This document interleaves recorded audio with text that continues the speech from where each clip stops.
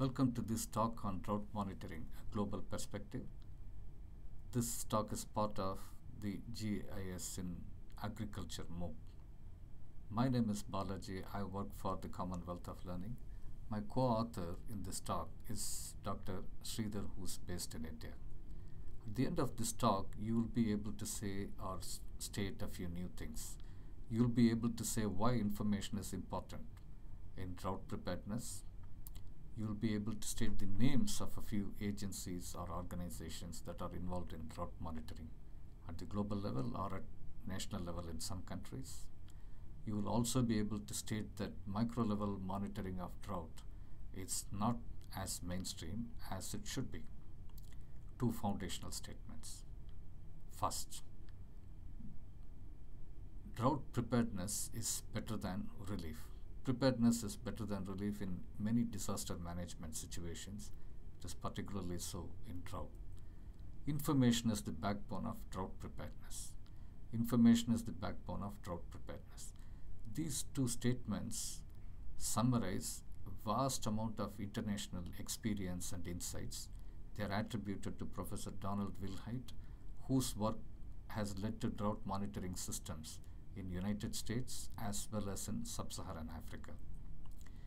Preparedness is founded on two activities. One is monitoring, the other is vulnerability and risk assessment.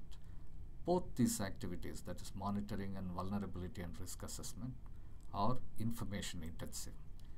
And GIS is a powerful way to organize, present, and analyze information. This is what you understood in this course so far. GIS therefore provides an excellent set of tools for drought monitoring and vulnerability and risk assessment as well. Most important, these tools can operate on any scale from global to micro, from global to village levels. Now, let's appreciate that drought preparedness is a perspective. It is a way to integrate a variety of approaches to drought management. It's a new way of looking at drought management. Information is the backbone of drought preparedness, and GIS tools, as important information management tools, can play a critical role in drought management as a whole. Let's look at some of the systems for drought monitoring available at global scale. National Oceanographic and Atmospheric Administration of US, NOAA or NOAA, has brought out a very important service in recent times for drought monitoring. You should visit the URL listed here sometime to get yourself familiar. It's an excellent system that can scale down to county level. Even if you are not in the United States, I would invite you to visit this site and get familiar if you are planning to start your own drought monitoring activities.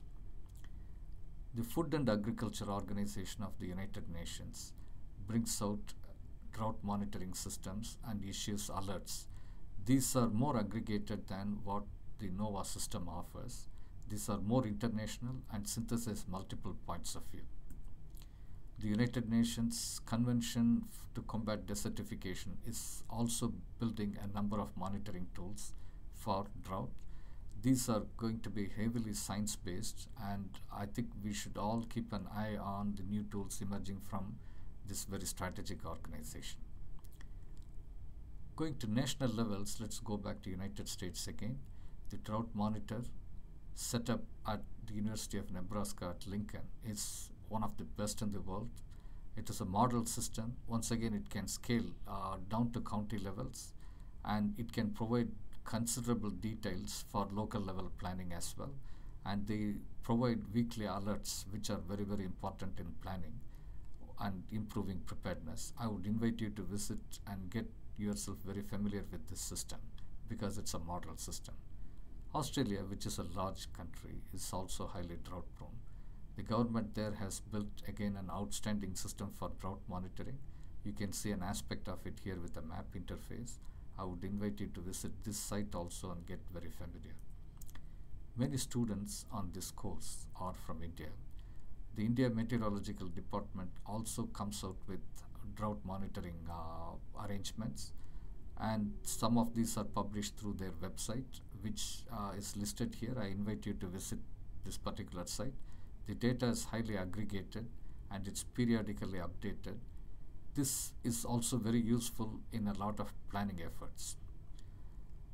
From what we have seen, we would agree that drought monitoring on global and national scales is already a mainstream activity in, in a number of countries. GIS tools are already playing a very big role in maintaining them. A new challenge starts to arise because of division of responsibilities across agencies. Here is one example. A recent news item from India shows that the India Meteorological Department will no longer forecast drought.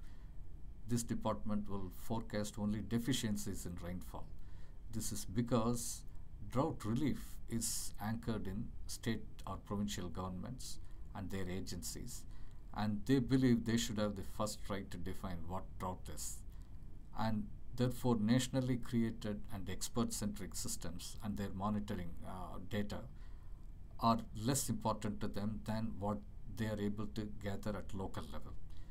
How can we overcome these kinds of challenges because these are not limited to one country, they are present in practically every country. We believe the best way to do that is to start looking at uh, data at this micro level, at this rural level, where people live and people feel highly vulnerable to drought when it occurs. On this scale, a variety of systems can be more easily integrated and planning action can begin. To be effective, early warning and preparedness require a lot of information access and they should be made available through wide variety of channels including the web at the micro level. Relief always occurs at the micro level and that is based on vulnerability assessment which should also take place at the micro level.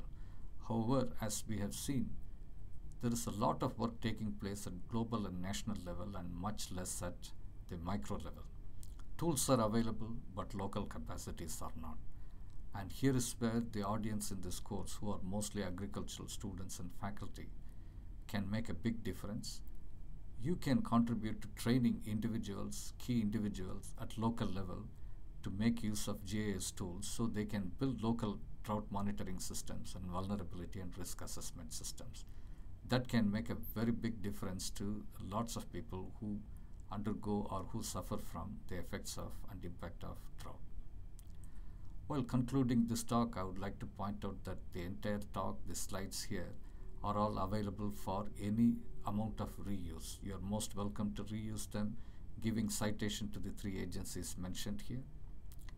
There are screenshots used which do not belong to any of these agencies but to the URLs which are cited. Please take note of that carefully and once again we welcome you to make use of the slides here. Thank you.